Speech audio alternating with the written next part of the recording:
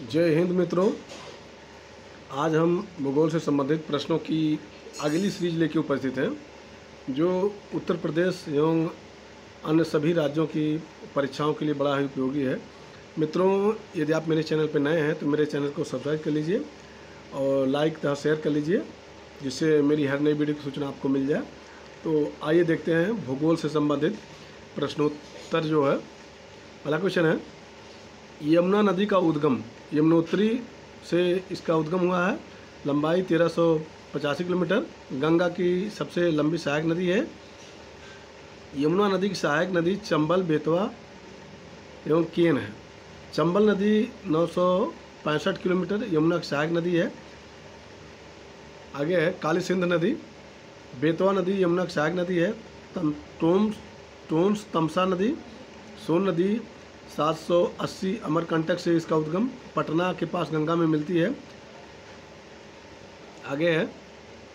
लूनी नदी चार सौ पचास किलोमीटर, साबरमती नदी चार सोलह किलोमीटर। आगे है ब्रह्मपुत्र नदी का उद्गम जो है मानसरोवर के पास से होता है। लंबाई इसकी पच्चीस सौ अस्सी किलोमीटर, भारत में आठ सौ पचासी किलोमीटर है। और ब्रह्मपुत्र में बाएँ से मिलने वाली नदियाँ हैं। नंबर एक दिवांग नदी, नंबर दो लोहित, नंबर तीन बूढ़ी दियांग नंबर तीन धनसिरी, नंबर चार कपोली। ब्रह्मपुत्र को तिब्बत में सांगपो नदी के नाम से जाना जाता है। अरुणाचल में दियांग नदी नाम से जाना जाता है। बांग्लादेश में यमुना नदी से जाना जाता है, यमुना नदी नाम से जाना जाता है जाता है। और यमुना नदी जो है, यमुना नदी पद्मा नदी से मिलकर मेघना नदी कहलाती है। अगली नदी है सतलज नदी। उसका उद्गम मानसरोवर के पास राकस ताल से होता है। ये हिमालय पार नदी है।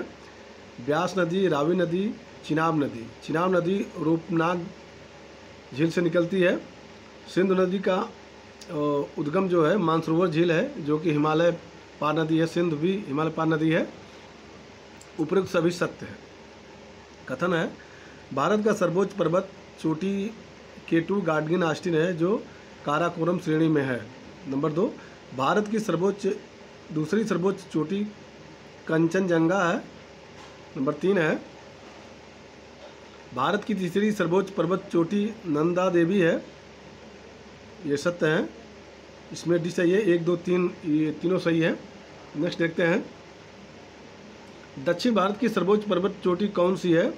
इसमें ए सही है, अनाईमुड़ी है दक्षिण भारत की सर्वोच्च चोटी। नेक्स्ट है, धौलागिर, अन्नपूर्णा, मकालू पर्वत, चोटी अवस्थित है। इसमें सी सही है, नेपाल में स्थित है ये। नेक्स्ट है, नामचा बरवा और कंचनजंगा पर्वत, चोटी अवस्थित है, ये भारत में स्थित है। नोट है, कंचनजंगा सिक्किम में एवं नामचा बरवा नामचा बरवा अरुणाचल प्रदेश में स्थित है। अगला क्वेश्चन है, कथन है, भारत का पश्चिमी तट मालाबार तट के नाम से जाना जाता है। नंबर दो, भारत का पूर्वी तट कोरोमंडल तट के नाम से जाना जाता है। तो इसमें देखते हैं, इसमें सी सही है, दोनों सही है, एक और दो दोनों सही है। नेक्स्ट देखते हैं। भारत के पश्चिमी तट का उत्तर से दक्षिण सही क्रम है। इसमें ये सही है, ज्वारी तट, कोंकण तट कनारा तट, मालाबार तट। नेक्स्ट देखते हैं। कर्क रेखा कितने राज्यों से होकर गुजरती है? इसमें सी सही है आठ राज्यों से होकर गुजरती है। तो ये आठ राज्य कौन कौन से हैं? आइए देखते हैं इसको। गुजरात, राजस्थान, मध्य प्रदेश, छत्तीसगढ़, झारखंड, पश्चिम बंगाल, त्रिपुरा, मिजोरम। ये क्रम से हैं, पश्चिम से पूरब की तरफ़। नेक्स्ट देखते हैं। भारतीय मानक समय, साढ़े तिरासी अंश, पूर्वी देशांतर कितने राज्यों से गुजरती है? इसमें भी सही है, पाँच राज्यों से गुजरती है। ये भी बड़ा ही महत्वपूर्ण क्वेश्चन है। तो ये पाँच राज्य कौन कौन से हैं? आइए देखते हैं इनको। उत्तर से दक्षिण तक ये क्रमशः, उत्तर से दक्षिण की क्रम है इनका। उत्तर प्रदेश, मध्य प्रदेश, छत्तीसगढ़, उड़ीसा एवं आंध्र प्रदेश। ये क्रम है इनका। अगला क्वेश्चन है। भारत के उत्तर पश्चिम भाग में शीत ऋतु में होने वाली वर्षा के लिए उत्तरदायी है। इसमें ए चाहिए पश्चिमी विक्षोभ जो है उत्तरदायी है। नेक्स्ट देखते हैं। सूची एक, सूची दो है, ये अवस्थित और देश है। ग्रेट आर्टिजन ऑस्ट्रेलिया में स्थित है। रेड बेसिन चीन में स्थित है। बृहद बेसिन अमेरिका में स्थित है। तो इसमें देखते हैं, इसमें एक, दो, तीन सही है। उपयुक्त तो तीनों सही है इसमें। एक, दो, तीन सही डी सही इसमें। नेक्स्ट देखते हैं।